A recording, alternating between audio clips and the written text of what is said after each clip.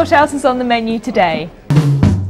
Thursday is definitely the new Friday. We're gearing up for a girls' or a boys' night in with chicken burritos, courtesy of Eric Partaker. Now, after the break, we'll be enjoying freshly made burritos from the owner of a hot New Mexican restaurant. Yeah, so here we have our, our heated tortillas.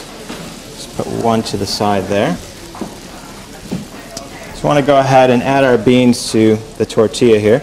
The best thing to do is just go ahead and layer these out like this because that way the flavors go through every single bite in the burrito. Okay. And we take our, sorry, excuse me, take the chicken. So this is the marinated chicken that we've already cubed up. Put that off to the side. Go ahead and top it off with some guacamole. I've done that quite chunky. I hope that's Yeah, no, that's fine, it's fine. And then our pico salsa. So look at, I mean, look at all the color there. So I mean, vibrant, it's, isn't it's, it? it's actually a, a very pretty looking dish too. So we have some cheese, our grated cheese. Any grated cheese will do really, it just comes down to what your preference is for cheese.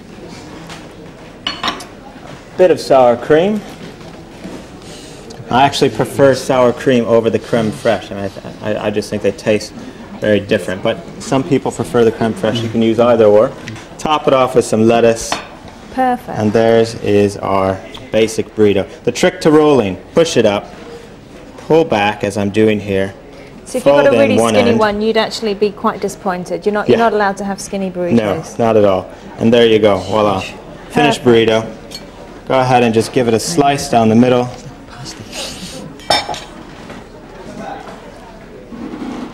There we have our finished product ready to be served. Okay. Tasting. It smells fantastic. Okay, guys, tuck in. Pretty good. What do you think?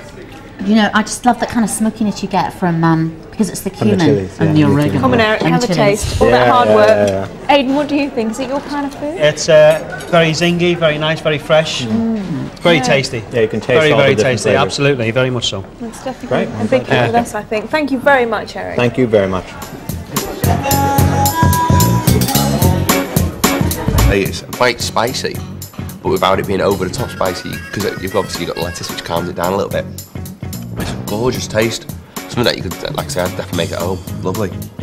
I could see me having this for like a, a movie night or a party night, that sort of thing, sitting in the house. It's real stampede of flavours, yeah, it's really, really tasty.